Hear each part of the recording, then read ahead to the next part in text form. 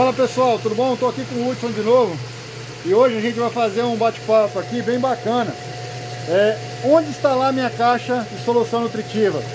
Qual é a melhor forma? E aonde eu devo, é, de que forma eu devo trabalhar com a minha caixa de solução nutritiva? O Hudson, das que eu conheço, daqui a gente trabalhou junto, né Hudson? Essa daqui foi uma que ficou muito bacana no local de instalação. Apesar de ter algumas pedras por aí, né Hudson? Mas não foi problema não, né? É, justamente. Eu vou virar para a gente bater o papo, que aí a gente vai mostrando e o Hudson vai falando com vocês. Galera, ó, esse é o espaço aqui do CIER em Águia Branca. Hudson, se for para me escolher um local para me instalar a minha caixa de solução nutritiva, o que, que eu tenho que perceber, o que, que eu tenho que, que compreender? Bom, Wagner, aqui a gente, primeiro a gente tem que caprichar na temperatura.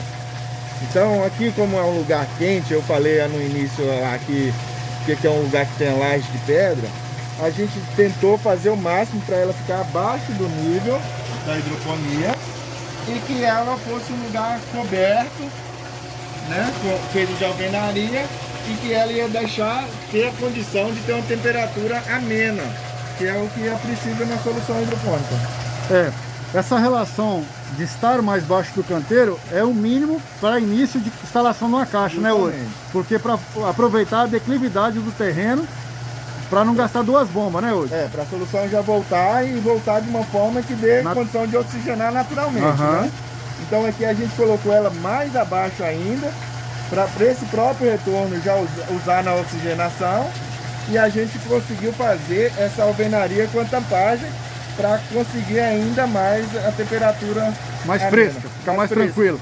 mais, tranquilo. Aí, o que o Hudson está falando é cercar com os blocos. Os blocos não deixam a temperatura, teoricamente, da areia, que aqui é, uma, meio areia, né, Hudson? É. Passar para dentro do, do espaço. A caixa, Hudson, eu sempre digo nos meus vídeos que ela tem que ter caixa sobrando sempre, né? Para que a água possa ficar mais fresca também. Vocês pensaram dessa forma, Hudson, na instalação? É, aqui ainda tá, tá a solução está baixa, né? Porque é sexta-feira, etc. E aqui a gente tenta deixar ela o máximo possível de cheio. Primeiro, quanto mais água tiver, mais condição de ter uma temperatura mais amena lá, né? Mais temperatura mais baixa, que é o ideal para o sistema hidropônico. Porém, a gente também não pode encher ela muito, porque se chover, uhum. ela vai transbordar também. Então a gente vem sempre acompanhando previsão do tempo e tudo para manter ela. E a sensibilidade que eu sempre digo da hidroponia tem que existir. Só mostrar aqui, ó, a hidroponia está aqui do lado, não tem cobertura. Tá vendo, galera, ó? Eles têm aqui um sombrite porque a região deles aqui está instalada em cima de uma pedra, teoricamente aqui, né? Tem lugar aqui de 20 centímetros de, de pedra depois da, da terra aí, né, Wood? Então eles têm que potencializar o lugar para ficar o mais fresco, mais aclimatado possível para o sistema hidropônico. A oxigenação, Hudson, ajuda a manter a temperatura também, não é? Também. Aqui, uma coisa que eu falo sempre, aqui a gente conseguiu na época, o buraco aqui, o cara veio cavar pra gente, do lado da hidroponia. Mas se você tiver uma área descampada, e se tiver uma árvore mais para baixo, é legal colocar a caixa de solução um pouco mais longe da hidroponia para deixar o espaço mais fresco. Você concorda, Hudson? Concordo. Inclusive ela era para ser feita, foi feito o primeiro buraco dela lá é. embaixo. Lá no canto. 15 metros para ah. lá.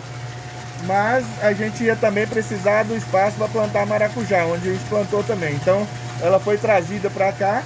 Mas quanto mais ela tiver longe, melhor, porque os canos enterrados já vão fazendo um arrefecimento por baixo da terra. Então assim, ó, dica boa, dica compartilhada. A primeira foi que eu falei se você tiver uma árvore no terreno, caça ela e faça um buraco de baixo. A distância que a água circula dentro dos canos, a segunda dica, e a dica que o Hudson deu, que ajuda a refrescar. Vou dar uma descidinha aqui, Hudson, mostrar o pessoal, só para entender o que a gente está dizendo. Aqui ficou fácil para descer, essa hidroponia aqui ficou muito bacana mesmo. O que o Hudson quer dizer é que essa água aqui, ó, tá fresca, essa água é do respiro, que precisa, né, Hudson? É fundamental.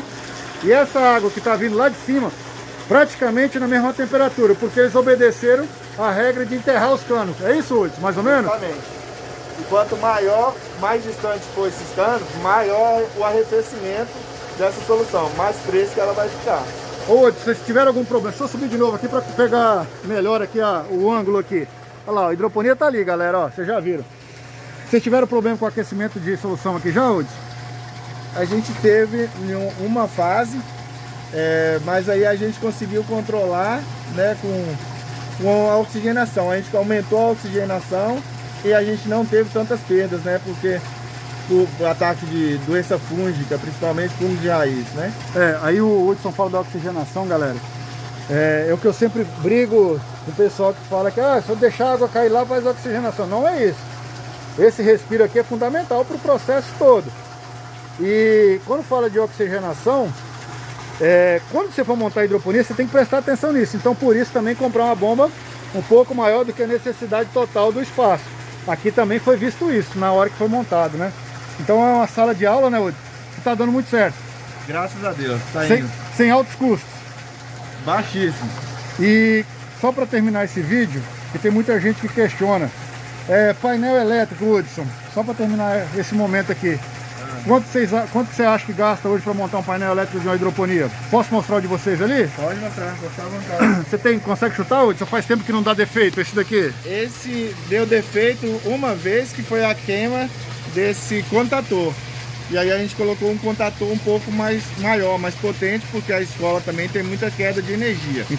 Então depois que colocou esse um pouco maiorzinho, nunca mais teve problema. Então é um... Isso, Pode é falar fica à vontade. É uma chave ligada a um contador, a um contator e um temporizador, né? E aqui então isso ficou em média no início 240 reais, 220 reais. Hoje deve estar em torno de 300 reais, né? Se fosse, se fosse do jeito que os grandes empresários montam aí, custaria uns 2.500, 3.000 é, reais. Beleza, galera. É isso aí, Hudson. Obrigadão, cara, por tudo que você faz aí pela hidroponia na região. O Hudson é um cara que não tem problema de construir junto, né, o pensamento sobre hidroponia, sobre esse, essa relação de plantios, de alimentação saudável. Hudson, obrigadão, cara. Valeu demais aí. Que Deus abençoe você, cara. Que Deus abençoe cada um que tá vendo o nosso vídeo aí também. Abraço.